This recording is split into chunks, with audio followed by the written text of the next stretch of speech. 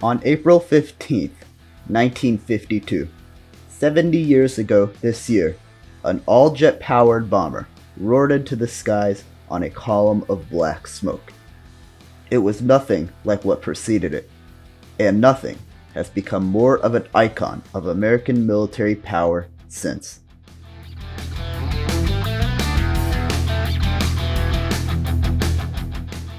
The B 52 also known by its crews as the Buff, is an all jet powered bomber aircraft that has served in numerous wars since the 1960s and, at one time, was America's primary nuclear deterrent against the Soviet Union.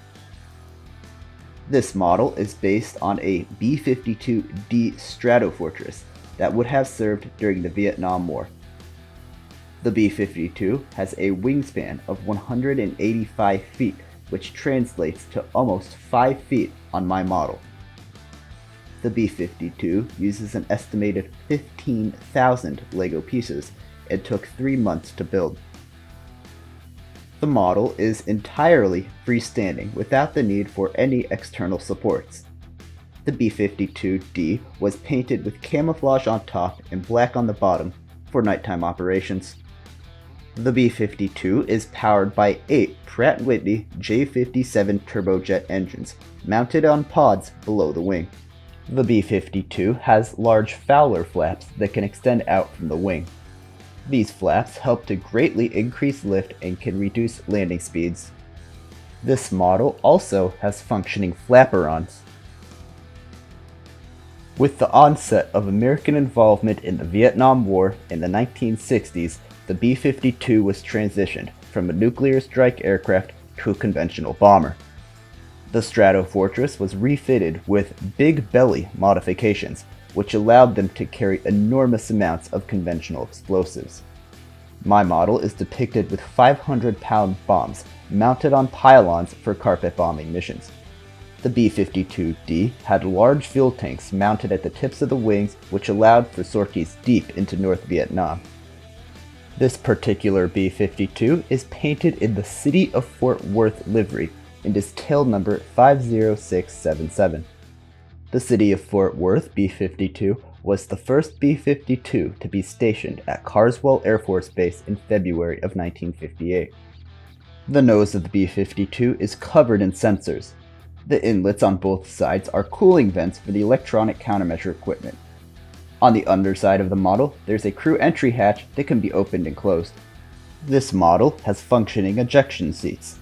The pilot, co-pilot, and electronic warfare operator would be situated on the upper deck and had upward firing ejection seats. The navigator and the radar navigator would be stationed below deck and had downward firing ejection seats.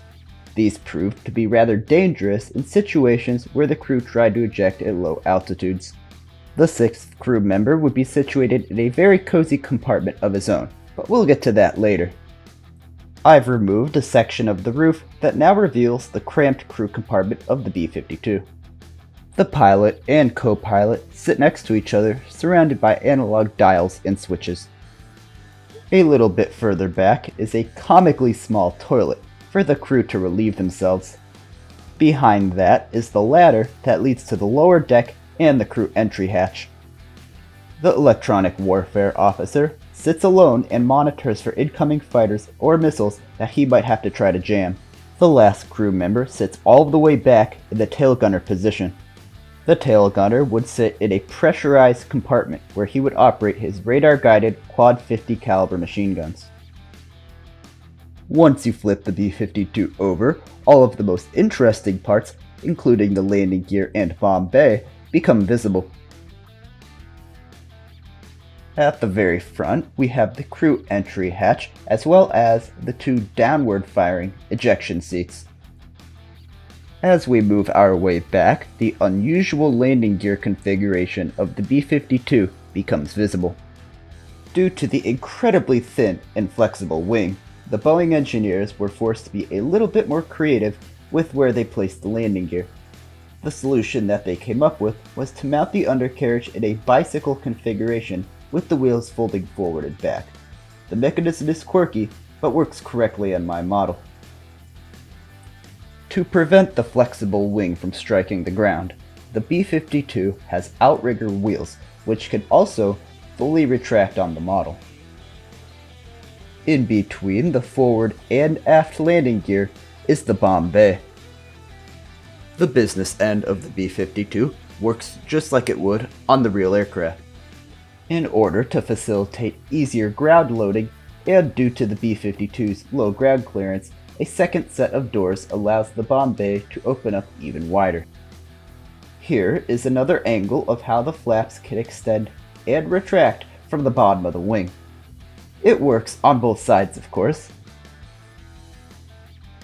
The B-52 was used extensively in the Vietnam War in infamous bombing raids such as Operation Arclight and the controversial Linebacker 2 raids.